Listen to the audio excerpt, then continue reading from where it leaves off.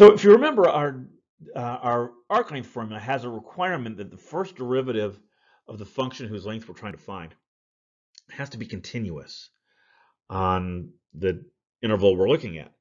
So in this lecture, we're going to look at a couple of examples where that's not the case, and we'll see some ways that sometimes we can use to get around that. All right, so I want to start with this thing. I want to find the arc length of this curve, and hopefully that's familiar to you. It's, it's a, the formula for a circle whose radius is 1, it's a unit circle. Uh, and I want to find its length. So we, obviously we know what the answer needs to be, right? Because we have a, a, formula for circumference. Um, but I think this is a good example, right? And we'll know for sure at the end of the day uh, if our method works here. So first thing I need to do is I need to solve this for y so I can find y prime. Right? So y squared equals 1 minus x squared. Then you take the square root, y equals the square root of 1 minus x squared. Yeah, I'm, I'm just taking the positive square root because my initial thought is I'll find the length of the upper arc and then just double it, right? We'll, we'll rely on the symmetry like we've done in, in lots of other cases. All right, so now if we find the derivative, y prime is 1 half 1 minus x squared to the negative 1 half times the derivative of the inside is the chain rule situation, so that's negative 2x. Now the x is, the, the 2's cancel, and this is negative x over the square root of 1 minus x squared. You can see here how we're going to get into trouble. Uh, to use my method, right, we would have to find the entire area, the entire length of that upper section, which means integrating from x equals 1 to x equals negative 1, and we can't do that, right, because that derivative isn't defined at plus or minus 1, and it can't be continuous at a point it isn't even defined at. Okay, so how, how am I going to get around this? Well, I, am going to I'm going to still use this symmetry, right? Here's, here's what I'm going to do. I'm going to integrate and find this piece here, right? That's going to be from pi over 4 to pi over 2, right? And these, these x values, the x values will be from 0 to, I don't know, some number over here. Uh, I, I, don't know what it is, but it, it's somewhere in the region where y prime is going to be defined, right? And for now, that's really all, all I'm going to care about. All right, so um, how are we going to do this? Well, let, us go to the formula, right? The formula is s equals the integral from, I'm just going to say from a to b for now, right? And I, I don't know what the x values are. The, the, the x values are going to be, I don't know, some weird number for that uh, right-hand value. And it, just be patient and you'll see that I'm actually gonna not gonna need it. I'm actually gonna end up doing this with the angle measures instead. All right, so this is going to be the square root of 1 plus the derivative squared. Now I square that, it becomes x squared over 1 minus x squared dx. Right now we'll do um, a common denominator here. Make this 1, 1 minus x squared over 1 minus x squared. So I can add these together, and this becomes the integral from a to b. The x squared and the minus x squared, they cancel. So this is just the square root of 1 over 1 minus x squared dx. And I, I, can simplify this a little further. Integral a to b.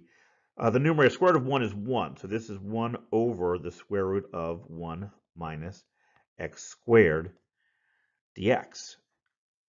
Okay, we know what we know how to do something like this, right? I'm going to do I'm going to do a trig substitution.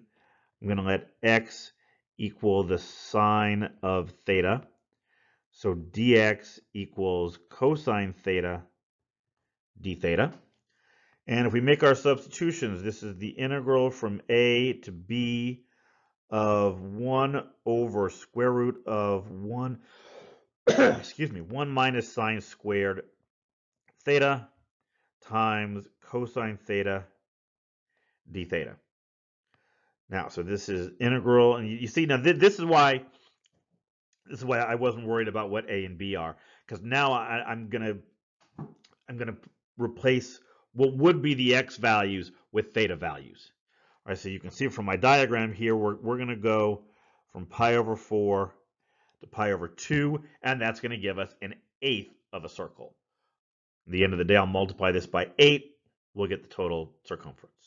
So I'm going to go from pi over 4 to pi over 2.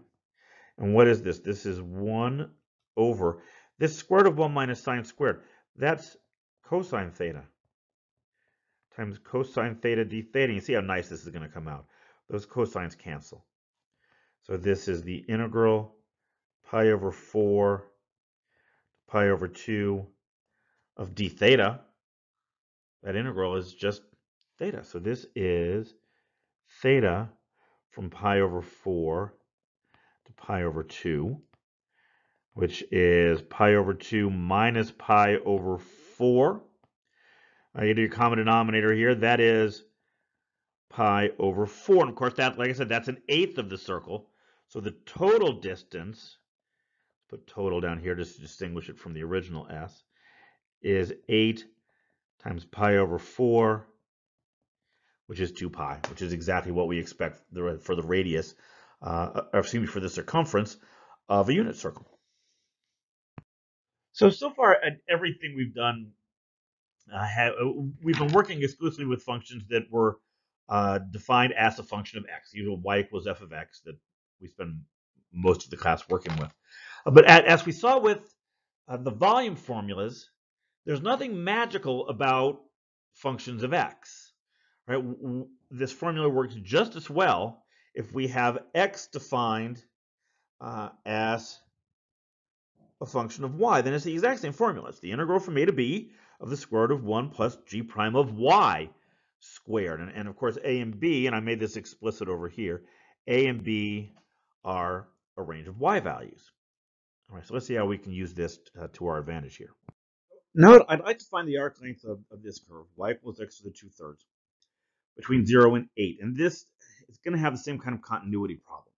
If I look at the derivative, the derivative is y prime equals 2 thirds x to the negative 1 third, and that's not defined as 0. So obviously it can't be uh, continuous there. So how can we get around this? Well, what I'm going to do is I'm going to take this equation, I'm going to raise both sides to the 3 halves power.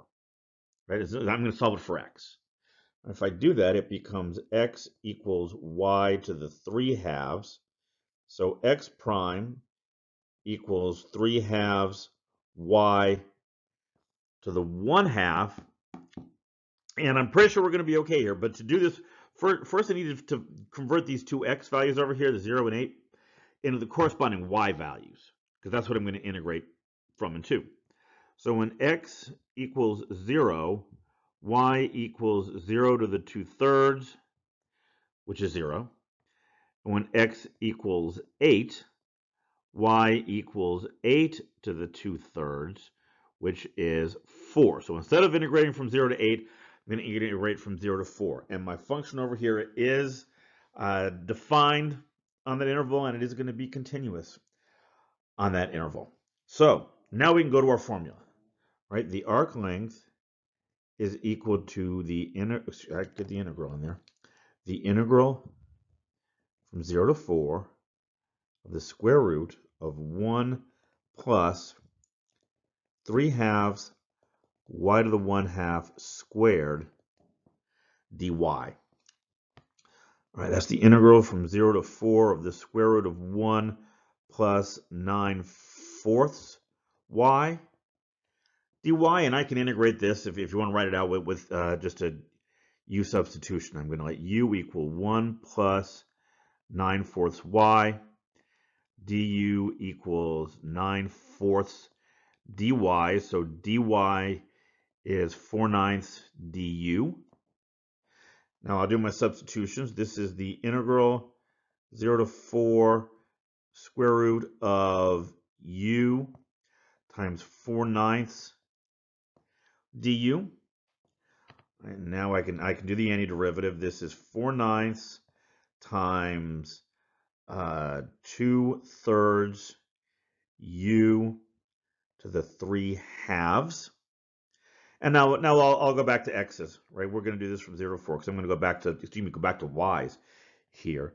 This is 8 27ths, 1 plus 9 fourths y to the 3 halves from 0 to 4. All right, so let's put these numbers in.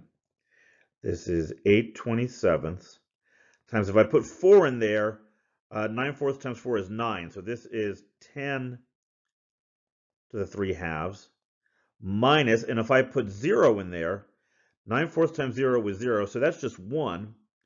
And 1 to the 3 halves power is 1. And yeah, that's it. I'm, I'm going to leave it at that, right? That's, that's my final area for the arc length of this curve.